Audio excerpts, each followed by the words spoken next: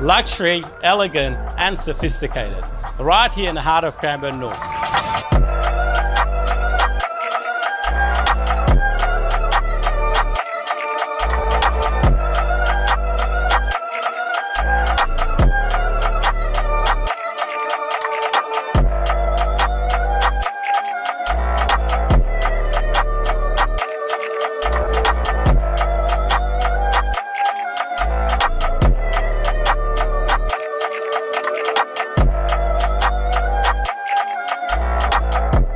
You know that it won't last long. If you are interested, you know what to do.